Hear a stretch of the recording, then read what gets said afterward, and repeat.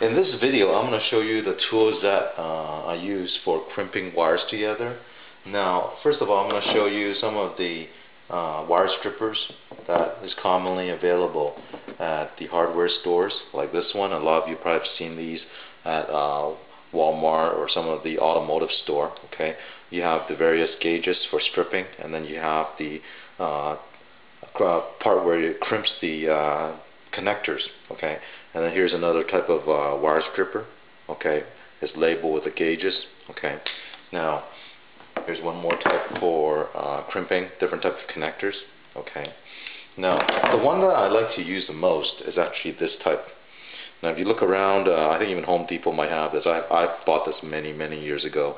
Um, this type of uh, wire stripper actually will strip your wire uh, by grabbing onto part of the insulator, okay, and then it'll pull the part that you, you want to strip off. So basically, I'm going to show you how this works, okay.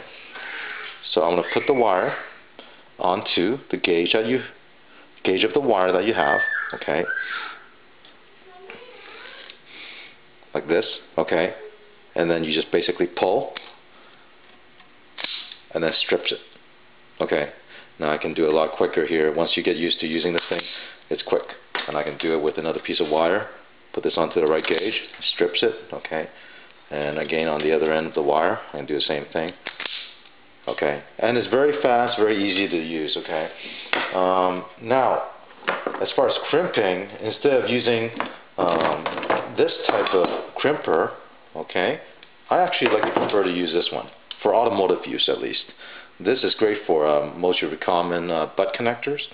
Okay, and the way you use this one is put the crimp on, feed the wire in, okay, give it a squeeze.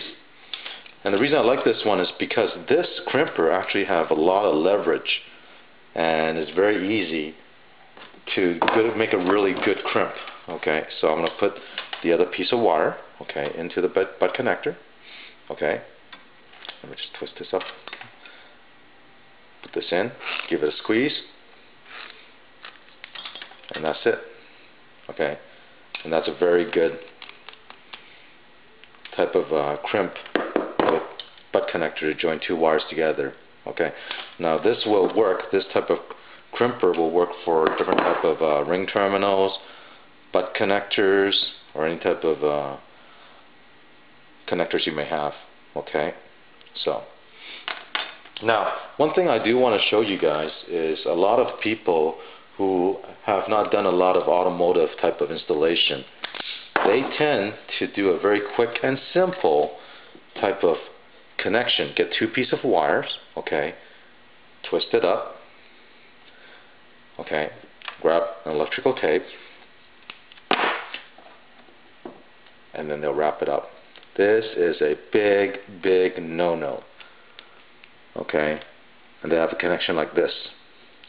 Now the reason you don't want to do that is for one, is that if you if you want to pass any type of high current through this, such as uh, using it for fog lights, um, power source, 12 volt power source, what happened is that after several years, okay, not even several years, after probably one good summer, when this heats up in the car and it gets very hot in the car, the adhesive on the electrical tape will start breaking down.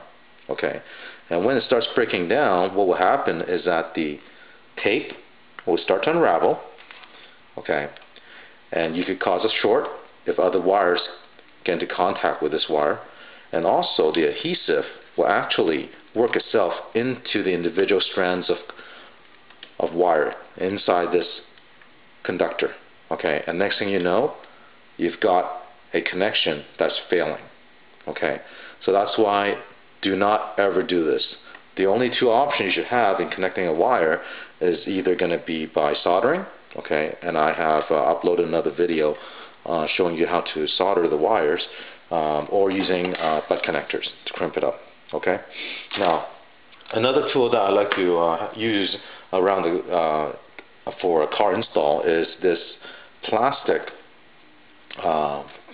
uh, pry bar. This material is all plastic. It's very hard plastic, okay, and this is great for removing panels, okay, around the car, and it won't damage it, okay.